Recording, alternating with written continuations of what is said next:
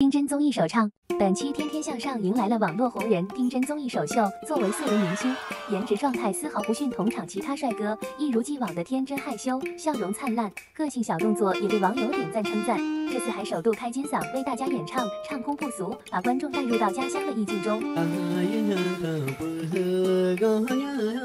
他和主持人的互动环节很配合，提什么要求都爽快答应。另外，李一桐在聊天时提到是王一博的舞迷，没想到王一博的耳朵瞬间变红，看来也是个纯情男孩，十分可爱。期待他们下一期的表现吧。